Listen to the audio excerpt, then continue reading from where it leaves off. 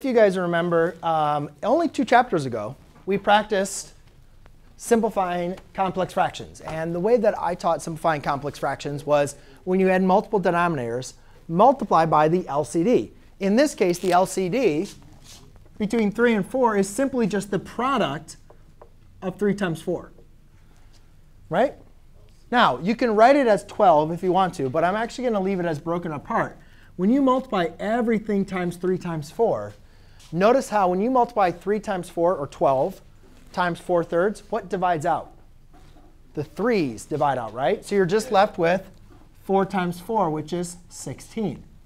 When you multiply 3 fourths times, or 3 times 4 times 3 over 4, the 4's would divide out, and you were just left with 3 times 3, which would be a 9.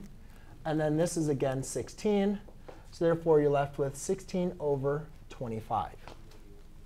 So when I look at this example, it might not be apparent what my, what my common denominator is. But I know that if I rewrite this in terms of sines and cosines, it might become a little bit more apparent. Or I might have an opportunity to simplify based on common denominators.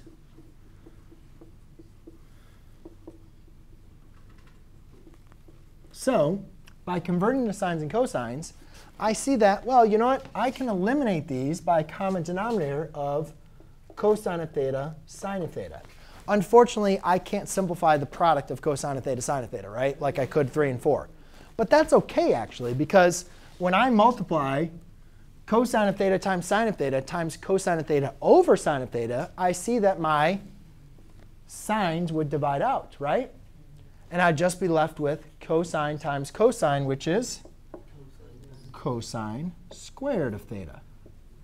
When I do cosine times sine times sine of theta over cosine of theta, my cosines would divide out, leaving me with a sine times sine, which is sine squared of theta.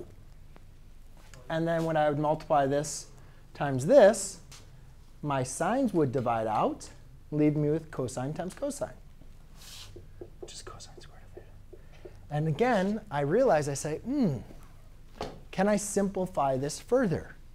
And again, we notice something. Sine squared plus cosine squared is equal to 2, 1. So my simplified answer is cosine squared of theta. Yes? When working out, uh, are we still going to do n? Like yes, I'm still going to have those groups doing up. Okay, good, because yep. I have trouble with it. Well, hopefully my group doing A can start putting them on the board.